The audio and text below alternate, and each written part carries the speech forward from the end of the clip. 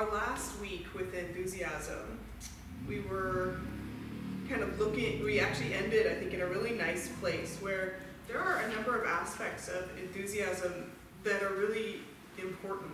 Uh, enthusiasm includes a whole different, you know, it includes our capacity to feel a positive pride or confidence in our practice. Like, yes, I have the enthusiasm of, I actually kind of know what it's like when my narrator is doing this thing and trying to help me out, or I know what it's like to feel my body more relaxed. And that positive pride and confidence is good. Um, there's also the aspect of enthusiasm that includes moderation, not usually what we associate with enthusiasm. And this idea that, yes, we want to have so much momentum towards our own enlightenment, our own waking up to this world and this experience. And if we go non-stop with that, we'll wear ourselves out, we'll burn out. And that's true for both our own practice of opening our heart and mind and our own desire to be of service to others. So we, we kind of closed last week with um, moderation and the importance of really being able to clearly identify when it is ours to be done and when it is ours to be let as it is in a way. So these qualities of enthusiasm are aspiration, firmness, joy, and moderation. And firmness really being the confidence and diligence. Again, not qualities or characteristics most of us are like, yeah, down for that. I actually had a weird dream the other night in which I uh, told a whole room full of practitioners that they weren't disciplined enough. and then I had a lot of regret. It's like amazing we have anxiety dreams about teaching. I was like, oh, I was too hard on them about discipline.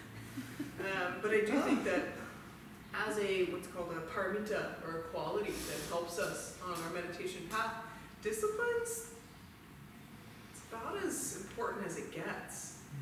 We can have all the aspiration in the world. We can feel such joy in our practice, and if we are not disciplined to create the time and space to practice, we are just eternally treading water. And so I will sometimes kind of get a little hard on folks about you know, it really, there's no equivalent, there's nothing that you can do that would replace the need to make time for practice, for teaching, and for community. But it's easy to tell you guys that because you're here. So that is helpful. All right, so I'll start here with the stanza. As seasoned fighters face the swords of enemies upon the battle line, lightly dodge the weapons of defilement, and overcome the foe with nimble skill. So one quality of our mindfulness is to be nimble.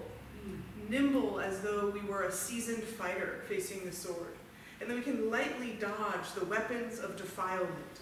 So all of our difficult and disturbing emotions, we're not kind of going to battle head on. We're like, oh, no thank you, oh, I'm good. Uh, we're like nimbly moving around those things which are challenging us. In the fray, the soldier drops his sword. In the fright, he swiftly takes it up again. So likewise, in the arm of, if the arm of mindfulness is lost, in fear of hell, be quick to get it back. Again, here more hell realm of your own mental suffering that you experience in excessive ruminative mind wandering. So if in the fray you drop your sword, you're not like, oh no, I dropped my sword. You're like, oh my God, get my sword. And the same with mindfulness. If you recognize that you have been living out some sort of ruminative fantasy of what's wrong in the world, which is really easy to do, get back and, oh, nope, here I am. I'm actually sitting on Bart. How delightful. Um, sorry, inside joke. Uh, in that I think I bring up either Bart or bike riding. And Muni. And Muni. It's my, my ultimate um, my ultimate uh, challenges of finding finding mindfulness. So this idea that our we have to have an urgency. So the qualities of mindfulness that uh, Shantideva is sharing with us here is nimbleness and urgency. Um, and I, I really like that. And the urgency is, well, it's kind of, it's repeated to over and over and over in this text. And there's probably a reason. Because the thing is, urgency is really close to us. Like we feel the urgency when things are terrible, right? When we feel lonely, when we feel left out, when all of the news that we are facing on a day-to-day basis is terrible. And yet, so quickly we can adapt to things feeling kind of comfortable and okay. And the urgency is like, I'm good, I'll meditate tomorrow. Because there's smoothies right now, or like whatever, right? Whatever's gonna occupy us with some hedonic enjoyment. And so, how do we continually connect to urgency without becoming a total pain in the butt? right? So there's a um, there's an interesting aspect there. So Pema Chodron writes, uh, the quality of, en- uh, of enthusiasm, one quality of enthusiasm is urgency. The combination of lightness and urgency is unbeatable. On the one hand, it's critical to your well-being to dismantle the kleshas, or difficult emotions. On the other hand, if you're too driven, you simply create another form of self-absorption. The trick is to see when you get hooked, and then gently but urgently come back to the present moment. Just as a soldier can't be nonchalant about dropping their sword in battle, we can't be complacent about losing our mindfulness. When our mind is distracted, the kleshas, or difficult emotions, move in like a band of robbers. But if we bring our mind back with harshness or panic, we'll never generate the self compassion we need to progress along the path. So, as per usual, Pema Chodron gives us a bit more of a holistic, uh, informed suggestion of how do we work with this urgent mind. It isn't with the austerity and rigidity of like, come on, get it back in there. It's more like, all right, keep coming back. Every time you find your mind wandering, keep coming back. It's firm, it's loving, but it's it's urgent, right? It has to happen. I don't know about you guys, but I sometimes um, find myself, especially, this is uh, scientifically proven when we are tired and stressed, even our best coping strategies are hard to access. And at the end of the day, I find that my resources are quite depleted. Does anyone else feel that way? So, I, you know, I'm like, oh, I'll just kind of think about bad stuff for a while. you know, and it's just kind of, I, mean, I don't even know how conscious it is. Um, even if I'm not engaging in social media, it could just really be happening in my own mind. And I, the urgency is like a little, I'm like, well, whatever, I'm going to bed. I can just kind of, let me just not be mindful for a minute here, that'd be nice. And um, it really, it's a really great time to refresh your practice. Because of course, that's going to get into the mind state of sleep and maybe disturb your sleep, possibly wake you up. Um, so how do we really truly keep that urgency of mindfulness even when we're tired and we're depleted? Um, it doesn't say how to do it, it just says you should do it. just for the record. Um, because just as sleeping, seeping venom fills the body, carried on the current of blood, an evil thought that finds its chance will spread and permeate the mind. Yes, so just like venom. Um, so here we go. As such a man would leap in fright to find a snake coiled in his lap. If sleep and sluggishness beset me, I will instantly dispel them. So, getting in it. Uh, every time that I fail, I will reprove and vilify myself thinking long that by whatever means such faults in future shall no more occur. And this idea, this vilify here, is more like that confession of the chapter two. So if I am there at the end of the evening, kind of ruminating, you know, like, God, that conversation I had my coworker, just feel like it was so off. And she looked at me that way. And, you know, maybe I'll start a rumination of why um, I'll never really figure out how to be comfortable in my job. I don't really feel like I fit in. Everybody else is so this or that or the other. Um, to really kind of get clear and say, hey, you're doing, you are falling into that habitual pattern of self denigration.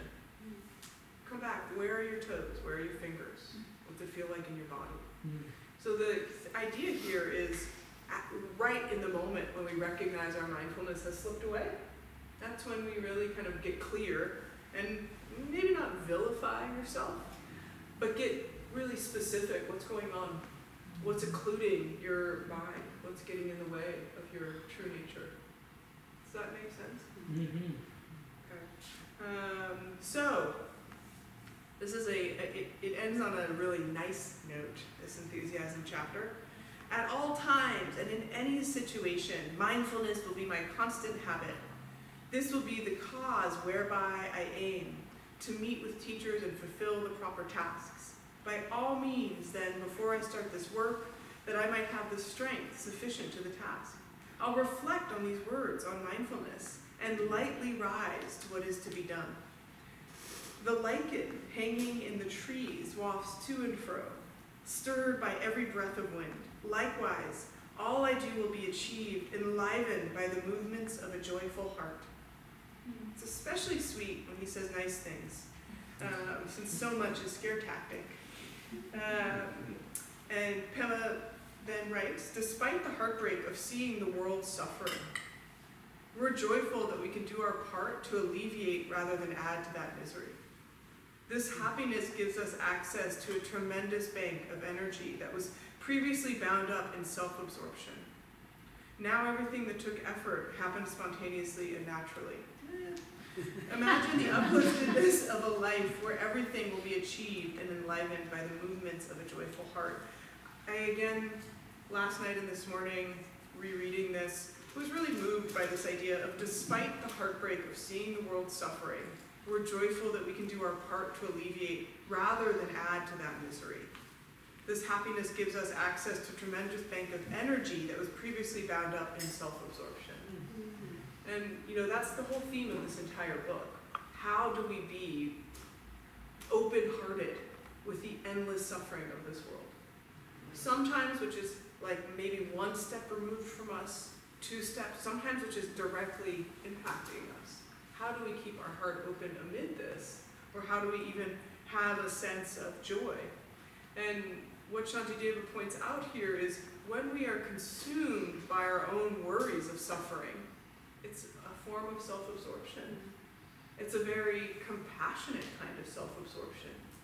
But there's a difference between holding, recognizing, and being with the suffering of the world, not denying it, not pretending it isn't happening, but making some sense of, uh, I am doing my part.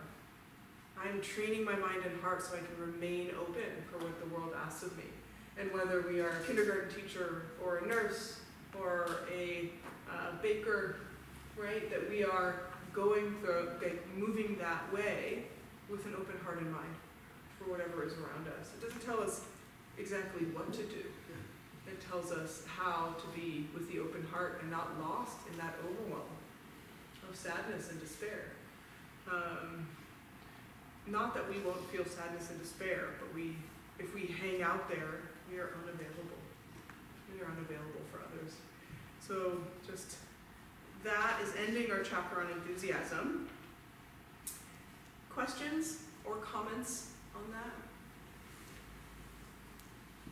Do you guys feel like mindfulness really is a kind of a way to have a joyful heart, like a way to be amid this world? Yes. Sometimes. Yeah. When I was moving my mother last week, not, maybe not all the time, I was mindful that I was being very bitchy. Right. I was mindful of my annoyance all this, but I couldn't really, was having a hard time stopping. But I don't know what it would be like if I didn't have mindfulness. It Yeah. would just be kind of really even worse, I don't know. Yeah. Yeah. Yeah. Sometimes I feel like it's a little bit painful because I feel like I go, and I don't know if it said it here, but I'm pretty heavy on the attentional and the mindfulness and not so heavy on the compassion. Like even that last thing you read, like where we're lost in the, Self-absorption. yeah, like I feel like we're not available to other people, we're actually really not available to ourselves. True. Yeah, right, to all parts of ourselves. Yeah, it can be really shut down. And that's why, you know, in uh, the contemporary definitions of mindfulness, uh, there's quite a bit of debate. And this is, you know, the modern mindfulness, not this ancient mindfulness. I tend to use that, which includes a, a kind presence, not just an aware presence. I think if we are just highly aware, we, we really can run the risk of becoming highly critical as well. And so um, I'm even more aware of the things I'm doing wrong. So how do we bring a kind presence to our noticing and our attentiveness? Yeah, I think that's part of the practice and not like a separate, like, oh yeah, mindfulness with a side of kindness. Um, I, I think that's, that's, it's the very nature of the attention and attentiveness can be like, doesn't have to be overly congratulatory, but at least kind or soft or gentle.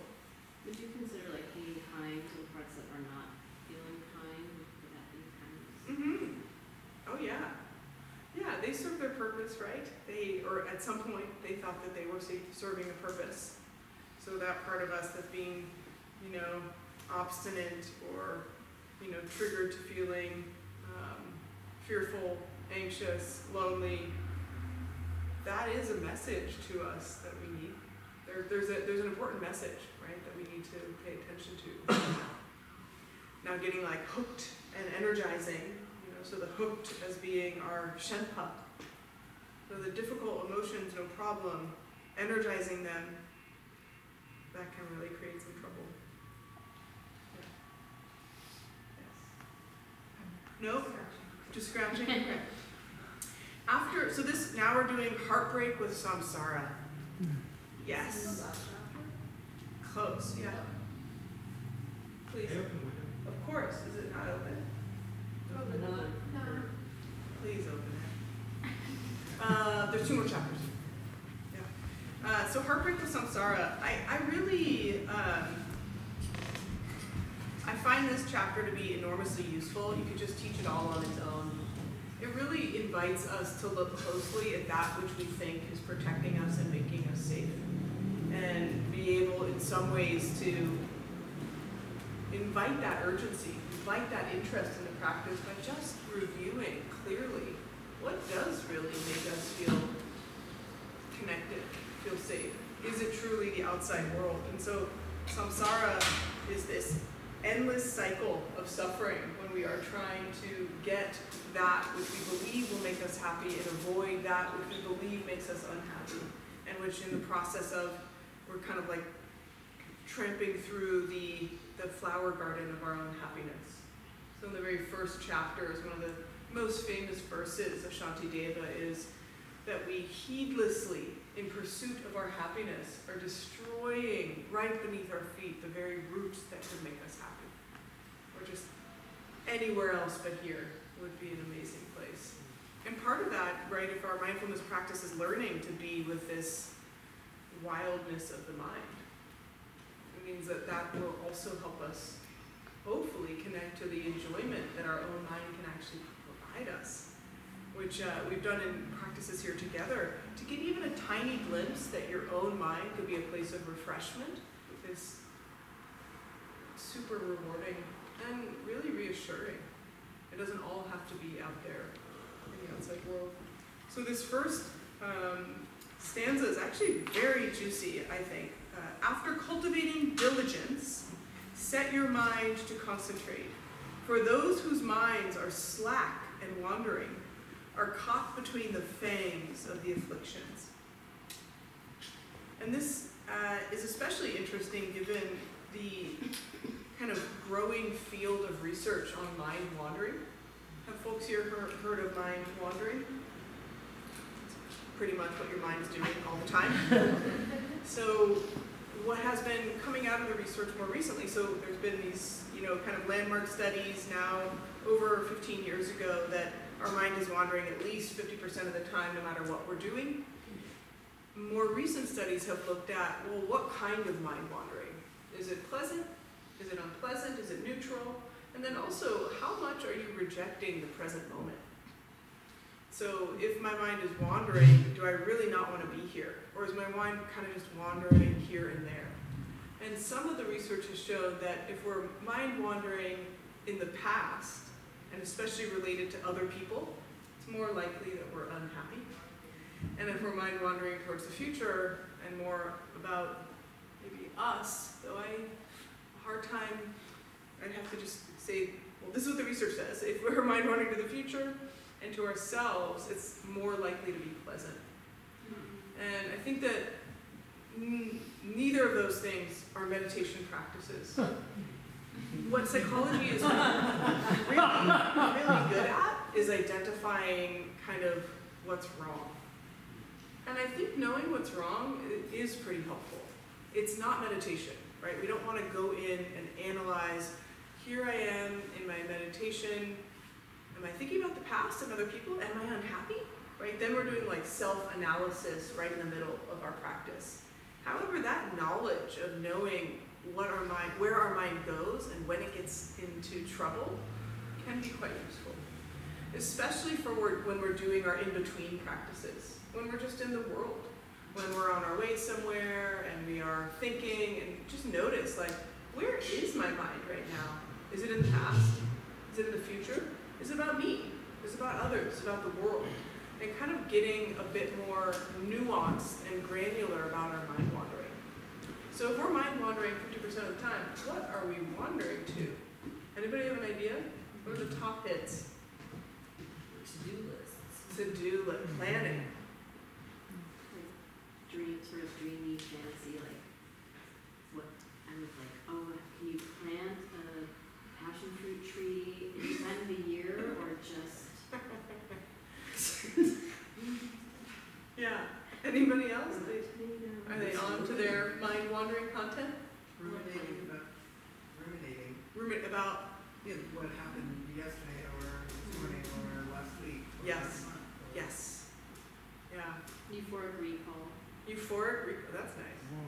What? Well, but it doesn't feel necessarily euphoric in the present because it's not gone. So the longing. Yeah, it's like euphoric recall and longing. Yeah. Yeah. Yeah. And there's a, oh, you guys are lucky. Well, yes, you're lucky. It's gonna make you do a, prop- or not make you, it's gonna invite you, if you wanted to, with the right to pass, do a practice of, um, we'll do it, we'll do it next time though, of, um, Animals are weird. Hmm? Yeah, no one's gonna come next time. It, we've done this before in um, CEB where essentially you you're in front of a partner and as you're sitting there, you out loud narrate that which comes to mind. yeah. Partner labeling. Yeah, and it's it's um, you know it requires a little bit of feeling of comfort, and you know you can lie, you don't have to say everything. But if you feel some level of comfort, they're being witnessed by another person, and then also as the listener, you're like, oh my God, it's not just me, right? There's a real feeling of recognizing that, like if I okay, I'm, I'm gonna try. It's you know when you're put on the spot, your thoughts like flitter away. Um, but if, you're, if I'm just sitting here, I'm definitely thinking of I have a blister on my foot, my forehead kind of aches. Yeah, what's the snack I'm gonna have later? Right? You're just noticing like the mind as it is emitting. And I think it's really useful to, um, again, not all the time because you would drive yourself crazy, uh, but give yourself five minutes or so of just, you can say it out loud or even write it. What is coming to mind? What is it? Because what you'll see, what I invite you to look for is that it is not fresh content. you are like rerun central, right? The same stuff over and over and over. And that's part of heartbreak with samsara, right? That is part of like getting nauseated by your, you're like, oh God, come on. God, even focusing on my breath would be better than this. Because, right, focusing our breath, least interesting thing we'd ever want to do. So how do you get excited about it? Well, look at the alternatives. oh my God, really? Right? And so I think I think there's ways that um, if we can do it kindly, not with a, um, you know, again, the, the very sharp blade could be that of a surgeon or that of someone who's gonna cause harm. So we wanna have our sharp blade of noticing and really be curious, like, what is this content of my mind?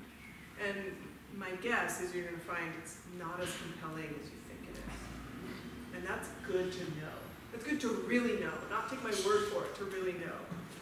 Can I ask a quick course. scientific mind wandering question? Yeah. Too off the topic? Please. So I thought I read a study where there was like some lamentation that we're around our relationship with our phones because we're not spacing out anymore. Yes. And that there's something really healthy and positive about spacing out, that the brain is doing, like actually some of its most creative That is positive mind wandering, Okay. imaginative mind Okay. wandering, which unfortunately is like a really small percentage of most of our mind wandering. Okay. And that doesn't mean like um, that we eliminate any spacious open time. It just means to be aware, especially when we're going into that negative rumination. And so if we're in the kind of, you know, positive, imaginative mind wandering, there's we, unless we're in meditation practice, we don't need to get rid of it. But if we're thinking about overall improving our mental health and well-being, it means we have to get onto ourselves about those negative looping ruminations.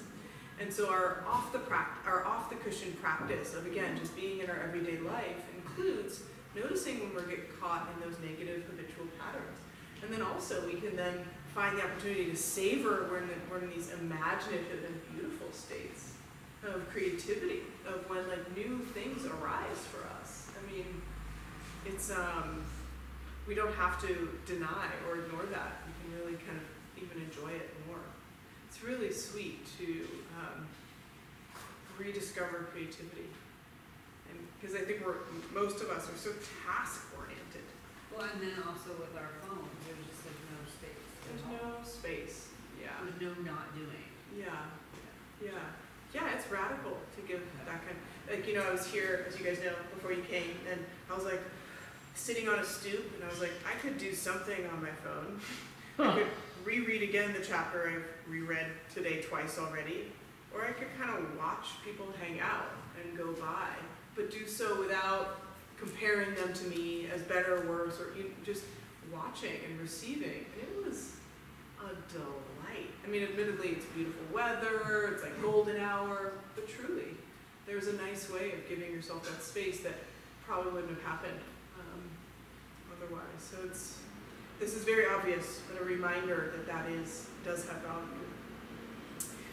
Okay, in solitude, the mind and body are not troubled by distraction. Therefore, leave this worldly life and totally abandon mental wandering. So you heard it here first. Get out of here. I'm kidding. Um, this is a suggestion from Shantideva that distractions are far more prevalent in our worldly life. And, and we all know that. And those of us who are fortunate and have the means and capacity to be on retreat, you know that that gives you like an extra kind of um, space for practice. However, I think that um, this idea or this call for solitude doesn't mean we have to actually leave this life. It means that we have to be clear on where we're putting our hopes and aspirations or what we're kind of aspiring to. So um, Shantideva, uh, sorry, Pema Chodron reminds us to consider the type of uh, useless distractions. These are called dunzi. So the distractions that keep us occupied on a day-to-day basis and prevent us from really deepening our practice. And then shenpa, so that way we get hooked by our difficult emotions, those negative uh, ruminations. And when we have this kind of useless, I mean, it's he gets so deep into the useless distractions here, and it's it's kind of heart wrenching. There is a lot of ways in which we energize and kind of feed thoughts that truly are not doing us or anyone else much good. And especially uh, a little bit later in this chapter when he talks about our over, um, the potential for kind of over investment in how we are, our status with those around us. Are we above them? Are we below them? Are we equal to them? And how much of our time, I, I love talking, many of you know, about kind of contempt and the difficult side of contempt and judgment and how much of our mental space that occupies. It really, I mean, talk about make us unavailable for empathy and compassion. It really occupies a lot of time and space. Um, so he says next, Shantideva, because of loved ones and desire for gain, disgust with worldly life does not arise. These then are the first things to renounce. Such are the reflections of a prudent man. So again, a little bit extreme. Uh, we may not need to develop disgust for loved ones quite yet, but uh, what Pema Chodron says is um, that ver- this verse addresses a common addiction, seeking happiness in outer things, through a partner, through food, through some possession, as though it could provide the joy that's lacking in our life. Our tendency to be overtaken by these drives is what concerns Shantideva. It isn't the loved one or the want of gain per se that need to be renounced. It's the unrealistic hopes we place in these things. We all know that deep side. And it's so hard to keep in mind, right? Because sometimes our loved ones do provide us the joy we're seeking. and yet, that's not, uh, it's, it's, and that's great. No need to deny that or pretend that we're disgusted every time someone we love makes us feel good. Like, oh, stop that. but to confuse that with anything reliable and sustainable, to confuse that with the kind of truth given joy of knowing ourself, that is really tough. But actually, Ben, I was thinking of you reading this uh-huh. because it brings up a huge paradox here. He is saying, let's develop some kind of healthy disgust for people for the sake of all people. right? So let's let's let's not get kind of tied up in these worldly relational tangles so that we can be truly available with love for all people. And that it's not necessarily a contradiction, but there's an inherent tension there, right? So then what is how are we to be with people? And you like bringing up paradoxes, I thought you. But yeah. I was thinking of something else. I, I'm wondering um, what the state of uh, advertising and mass media was in the days of Shantideva. Oh. Because we've got, I, I don't know how unique the challenges of today are, but like there's, you know, many billions of dollars invested in uh, keeping us in a very uh, um, tight sort of form of samsara, let's say. Yeah, you know, I don't think it's that different. I, I've read these um, historical accounts of the life of the Buddha, and there was fame and gain and praise and blame, and there was all the vicissitudes. There maybe wasn't so much access to seeing how many other people are both suffering and succeeding. So I think the magnitude might be greater, but I don't know. It's actually a really good anthropological question if we lived in a smaller community in which we didn't see that much of what was going on in the rest of the world, would we still feel as much striving to be like the greatest person in our community and as much aversion to be like the lowest person? Or is it intensified by how much access we have to others? I don't know. I'd say it would be, again, a good like uh, anthropological question of, my, my guess is part of our, um, our human condition is this comparison advertising expertly uh, grabs onto it, but it's not, um, it grabs onto something that's already there. And I think it's compounded by some um, feelings of more isolation, right? So many people feel less included in community. And if you look at these, at least in the US, nationwide rates of loneliness, they are absolutely on the rise. So maybe the compounding factors of being shown all these amazing things you are not and told that you should be, and not having the support, connection, and love of community. And I think those those are really compounding factors. Yeah, yeah. Uh, oh, we are almost there. Anyone? Um, I will say that the penetrative insight joined with calm abiding utterly eradicates afflicted states. So knowing this, first search for calm abiding, found by those who joyfully renounce the world. So I think this renunciation is a really interesting topic. When I first heard renunciation, my thought was, bless you, this is a kind of austerity I'm totally not about. Life is hard enough. And yet, I have found that this idea more of natural renunciation is meaningful to me. And that natural renunciation is just clearly seeing that which doesn't serve me. Does it serve me to eat really unhealthy food when I'm stressed out? Does it serve me to place all my hope of feeling of safety and security on another person? So then I naturally renounce that which doesn't serve me. Instead of taking it from, oh, well, this Buddhist book told me that I shouldn't do this and I shouldn't do that and I shouldn't do the other. I think renunciation should come from our own wisdom of really seeing that which is wholesome and that which is unwholesome for us. So I would I would encourage us with our heartbreak with samsara to start paying attention to that which is really getting in the way of our sense of deep connection, calm abiding, and a capacity to sit with our. You know, we know that, or some of us know that there's certain songs we listen to that make us feel agitated, and certain songs we listen to that make us feel calm. And if we want the calm mind, the choice is simple. But can we apply that same kind of discernment to our everyday life activities?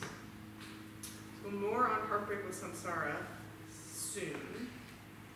Yeah, I'm not. It's interesting. So I, as, as some of you know, um, Chandra Easton, maybe some of you know her, will be returning in September, and we together will uh, kind of take on Wednesday nights. Uh, so we'll definitely make sure to finish this up because we're so close. It's been almost a year now. We're gonna finish it. Hmm? We're gonna finish it, We're right? absolutely gonna finish it. And then the last chapter has an additional commentary by Holiness the Dalai Lama, which I think is very useful for everyday life. Um, so, I would like us to take a moment to dedicate the merit. And again, for those not as familiar, this is a weird practice. We are essentially saying, all this work we've done together, we've dedicated to all beings. And that isn't some sort of, uh, you know, idea that we have a wish and it will be fulfilled. Like, I want all beings to be free, and by just dedicating it, it will be so. It's more that can we bring this mindful intention of care to everything we do? And when we're together practicing, there is a belief that what we're doing has greater impact on us and on our relationships and on the people that we're connected to. So we kind of dedicate anything that we have been working on and kind of stewing in here, so that might be a benefit to even more people. So we'll just take a moment and sit in a comfortable, upright position. Mm, Come back to a sense of being in and with the body.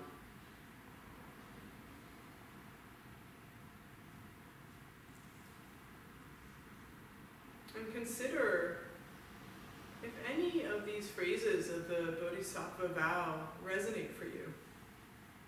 And if they don't, if there's something that feels authentic about how you would like to be in and of the world. The Bodhisattva vow are May I be an island for those who need landfall. May I be a lamp for those needing light.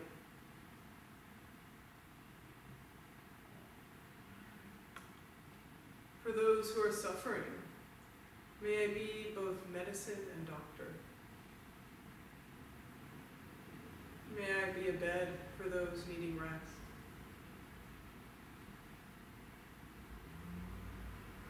This simple vow is suggesting that we meet people as they need us, as opposed to what we think they need. If they need rest, we're a bed. If they need light, we're a lamp. So we dedicate our time here together that all of us may have the capacity to be available to those in need and support those seeking safety, connection, freedom, and peace. May all beings know peace. May all beings know ease. May all beings have a chance of freedom from their difficult emotions.